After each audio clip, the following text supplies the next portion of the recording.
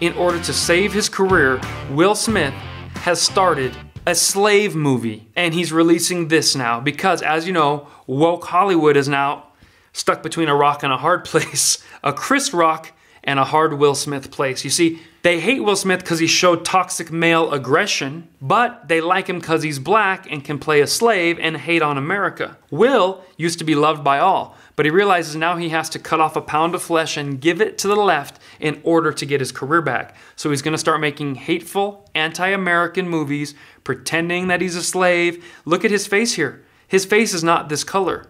So he's added, imagine if a white person put dark in their skin to look more like a character. They would be fired immediately. Will Smith darkened his face to look more like a slave. That is blackface. That is not allowed. That is racist. But because any slave movie will make America look bad and further the divide, after all, the first slave owners were all black. They were African chieftains that sold this product.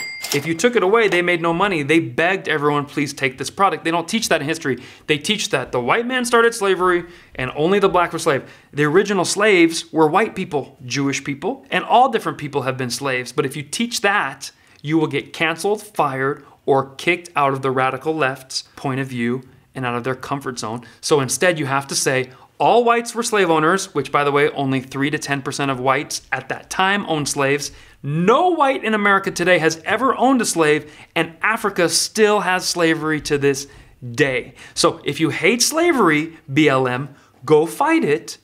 White people helped you fight it already. That's why there was a civil war, and we got rid of this product that Africa sold. You know that now.